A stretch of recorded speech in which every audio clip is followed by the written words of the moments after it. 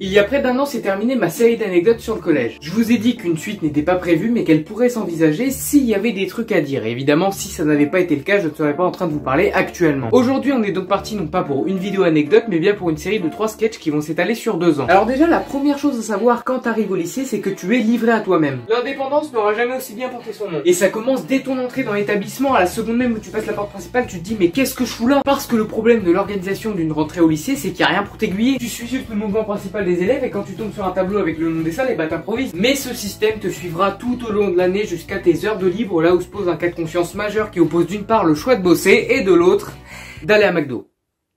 Et pour ma part, le choix est vite fait. Tu auras compris pourquoi aujourd'hui je cadre au-dessus de mon ventre. Et cette forme d'indépendance, elle se manifeste aussi par la confirmation d'un parcours professionnel. Dans le sens où c'est probablement vers ces années-là que tu vas enfin pouvoir définir quelles seront les matières que tu vas favoriser. Ce qui va ensuite amener la question la plus épineuse à laquelle les lycéens ont tous déjà eu à se confronter. Est-ce que je suis plus L ou S Franchement, je pense qu'il n'y a même pas de question à se poser. Bah ouais, c'est L. Non, justement, c'est le contraire. Quoi, tu penses qu'il va faire S? Bah évidemment, tu veux qu'il fasse quoi d'autre? Bah L par exemple. Pierre L Tu es si stupide. Ouais, mais nous, au moins, on s'est rêvé. Tu n'es pas comme nous, là, trouver des pipettes en essayant de trouver la formule chimique à je ne sais quoi. Qu'est-ce que tu veux dire exactement? Et bah voilà, c'est ce que je disais, exactement. Vous voulez toujours trouver une explication rationnelle à tout, tout le temps, et moi, ça me les casse. Il a pas tort, hein. Et après un certain temps de réflexion, je me suis résigné à choisir des matières purement littéraires telles que la philosophie, l'histoire et l'anglais. De quoi selon ses dires, cracher sur les sciences. Mais je veux dire, outre ce côté administratif et éducatif, la seconde c'est aussi une porte d'accès à de gros changements. Alors évidemment c'est relatif à chacun, mais pour ma part cette année a été assez cossue en termes de remise en question. On va dire que la modification de certaines de mes relations, aussi bien amicales qu'amoureuses, ont quelque peu changé. Parce que la seconde est une étape de la vie te faisant comprendre la vraie signification du mot amour et amitié. Je sais qu'il faut peut-être pas en parler, mais ça fait partie de la vie, de la mienne et de la seconde en général. Quand t'arrives au lycée, tu te vois forcé d'oublier des gens que t'apprécies en dépit de ce que toi Et je sais ce que vous allez me dire, bah non, quand tu veux voir quelqu'un, de tous les cas, tu peux. En théorie, oui, mais il arrive des situations où le temps, la distance et la volonté s'éloignent à un tel point que revenir serait quasiment suicidaire si on veut rebâtir une relation. Et ça s'est avéré vrai parce qu'à un certain stade, j'ai voulu reprendre les choses en main et recontacter ces personnes, mais quand tu les aperçois, que ce soit il y a des story snap ou en passant en voiture et que tu vois tous ces visages heureux et que tu te dis, bah, toi, t'hésites à revenir. Mais pourquoi revenir quand tu vois que tous ces gens vivent très bien sans toi?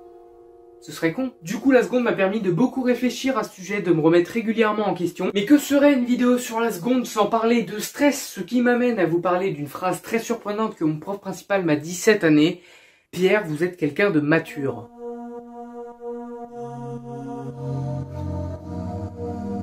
On sait très bien comment ça va finir.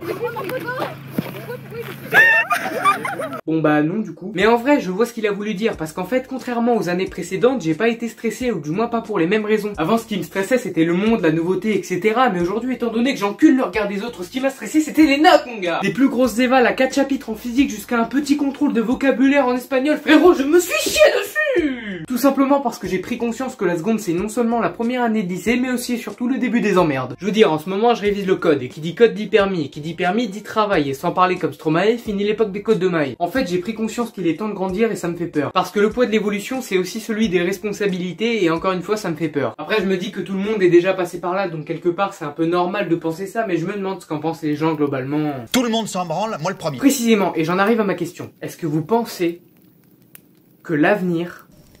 J'en ai rien à foutre. Ouais. Ouais, ce serait décevant. Rien à carrer. En seconde, j'aurais découvert énormément de choses. Euh, ma passion pour l'écriture, l'autonomie, les notes sur 40, ce qui normalement n'existe pas dans un pays civilisé. En seconde, j'aurais découvert qu'en vrai, peu importe le temps et la distance, l'amitié n'est qu'une question de volonté et que si tu veux la garder, il suffit juste de la cultiver. En seconde, j'aurais testé beaucoup de projets différents sur ma chaîne, dont certains ont été annulés. En seconde, j'aurais découvert de très bons films tels que les Harry Potter, Léon, Inception, La vie d'Adèle et j'en passe. Mais bien sûr, selon moi, ce qui me restera le plus en mémoire de cette année en seconde, c'est moi. J'ai l'impression d'avoir été pendant longtemps ce que je déteste aujourd'hui. Et d'ailleurs, j'ai réfléchi depuis qu'un jour quelqu'un m'a dit tu veux trop être au centre de l'attention. Et je sais que je me suis pas toujours entendu avec cette personne, mais je suis forcé d'admettre qu'elle avait raison. Et d'ailleurs, c'est là-dessus que je terminerai. J'ai toujours voulu être différent, mais être différent, c'est être comme tout le monde.